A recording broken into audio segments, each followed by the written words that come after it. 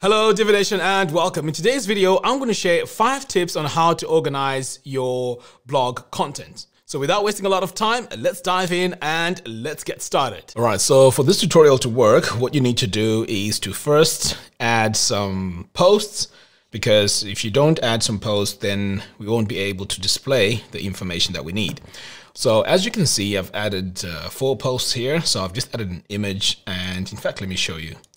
So all I've done here is I've gone in and I've just added some dummy text and also added a featured image. So this is what I've done to all of them. All right, so once that's done, the next stage now is to to add the template. So this template can be found in the link in the video description below. Uh, this is a theme builder pack, which is absolutely free. So you can go ahead and use that. So I'm going to come over here now to Divi and click on theme builder.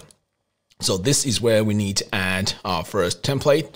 So I'm going to go now and uh, click here on portability, click import, and then I'm just going to drag my template in here. I'm going to click import theme builder. And in fact, I'll just leave that as it is and then click import theme builder template. So as you can see here, it's set to all categories, but um, ideally what we need here is to set this to blog uh, to blogs. So I'm going to come over here and set this to blog and then click on save. So now let's go in and customize this. So I'm going to click on this pencil icon. So this now is going to take us into our builder. So the first layout we're going to build here is a two column layout. So by default, it comes in as a three column layout, as you can see here. So to change our column layouts, all you have to do is to click here on the column structure. And then I'm going to go with um, this layout. So now you can see over here we have a two column layout and we still have this column here to add more information to. Now I'm going to go into my row settings and go into my first column. So in here I'm going to click advanced and on the main element, in fact we need to go to custom CSS and on the main element we're going to add this CSS code. So this now makes this 100%. So now all we need is to hide the column on the right. Remember our column structure had that extra column. So let's go back over here. And now we can um, go into the settings of this column and then click advanced, visibility, and then we're just going to disable this on all views. So phone, desktop, and tablet. All right, so we're going to save that, save it one more time, and this is our column structure. All right, so we're going to save this now. So now when we go on our blog page, you can see we have a two column layout. All right, so in this example, I'm going to show you how to make your posts sticky. So what you need to do is to go into edit into any one of your posts.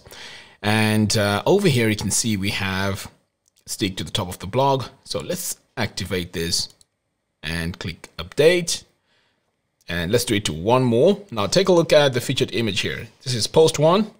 And let's also do it to hello world. So I'm gonna click edit and do the same thing. Make it sticky. Click on update. Great. So now if we go to our blog page, you'll notice that those two articles are going to be the ones at the top. And there we go. So post one and hello world now become sticky and they're going to stay at the top.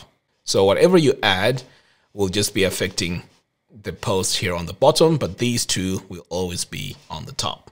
All right, so moving on in the next example, and this is number three, I'm going to show you how to use post offsets to organize blog content in separate sections. So I'm going to click here on custom body so that's going to take us back into our builder.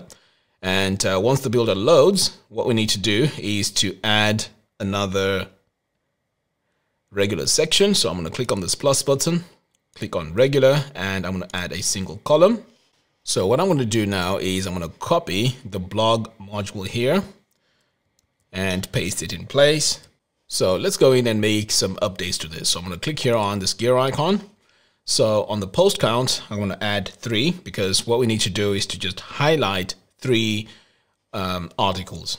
Next, I'm going to go to elements and here we need to remove quite a lot of stuff. So show read button. So I'm going to say no to that. No categories, no comment count, no excerpts, no pagination, just the title and the excerpts here. Now it's time to add our offset number. So I'm going to come over here to um, post offset. So this needs to be set to three because this is going to show like the three latest and then the rest are going to continue here on the bottom. All right, so you can see here our featured section here is taking shape. So what we need to do next to make this really stand out is to add a gradient color. So I'm going to click here on background, click on the second tab, and let's add our colors. So over here on the second color, I'm just going to add, okay, let's go with that. Right, and then finally, what you can do is to play around with the gradient direction. And to be honest, I think that looks okay. So I'm going to save.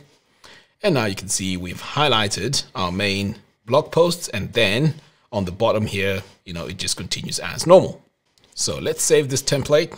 All right, so moving on, the next tip is to add a full width slider here at the top. So I'm going to click here on this plus button, click on full width, and then I'm going to choose full width post slider. So over here on post for current page, we're going to say yes. And for our post count, let's add three because you don't want to have too many on there. So three is just enough. Now we can go in and uh, play around with our titles and our and our font weight. So I'm going to click here on design and uh, I want to start here with the title. So I'm going to go to title text. I'm going to change this to Lato, set it to bold.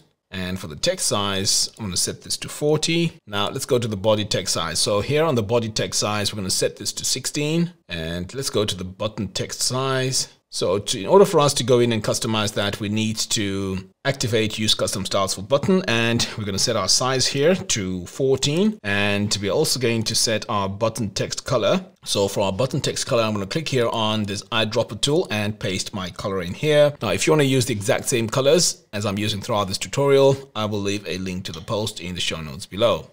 Next, I'm going to add my color here and uh, this color needs to be white. I'm just going to drag this all the way up to white and we don't need a border for this so I'm going to remove the border and for the button font weight we're going to set this to bold and the font needs to be Lato as well so that it matches our design. So let's remove the border width here. Okay there we go so that looks much better now. So for the border radius I think I'm going to set this to about 3 and for the style we're going to make it all caps and then we're going to save. So you can see now we've just added our slider and what you can do is you can go in here and disable the ones that you don't want to show. So let's go to visibility here and let's just disable this top one that we've just done. Hit save and I'm going to save this one more time. And when I refresh this, you can see now that we have our full width slider. Right, so moving on, let's add another layout. So what we're going to do here is we're just going to add another row. So I'm going to click on this plus button and the column structure is going to be two equal columns. And what we're going to do here is to copy this blog module here. So I'm going to right click, copy module, and then I'm going to come all the way down here and paste it. Now let's go into the settings. So in here on the post count, we're just going to say one. And then over here on the elements, we need to disable the pagination so once we're done here, we're going to save and then we're just going to duplicate this one here as well. Now for this, we need to go into the settings and for the post offset, we're going to set this to one. So we're going to save here. Now we can either move these over here to the left. In fact, let's do that. This layout design. So I'm going to move this one as well, drag it over here to the left. So what we need to do now is to copy this and paste it over here to the right and then make some changes to it. So I'm going to go into the settings and this time we are going to disable the image. So I'm going to come over here to elements and show featured image. We're just going to get rid of that. And then for the post offset, we're going to set this to one. And also here on the excerpts, we're going to say, we're going to remove the excerpts. So we're just going to have the title and uh, just this description here. So now in the elements, it says show excerpts, we're going to say no to that, no comment count, and we also don't want to show the pagination. So let's save this and let's duplicate this a few times. Now let's go into the second one here. And for our offset, we're going to set this to two, save that. And then for this one here, we're going to set the offset to three and save. And then finally, if you want, you can go in and, you know, change the background colors. So in this case, I'm just going to leave this as it is, but this is another way you can lay out all your blog posts. All right, so in this last example, I'm going to show you how to add your recent posts by category. So I'm going to click here on this plus button to add a new column. So I'm going to go with uh, one single column. We're going to add our blog. And now let's make some changes to this. So over here where it says posts for current page, make sure it's set to no.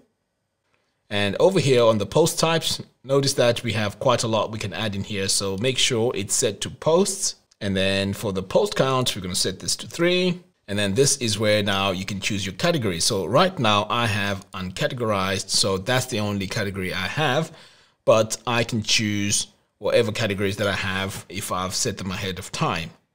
So there you have it. Thank you all for watching. If you like this video, please give me a thumbs up and don't forget to leave your questions in the comments box below and we'll do our best to respond to them. Until next time, thanks for watching and I'll see you in the next video.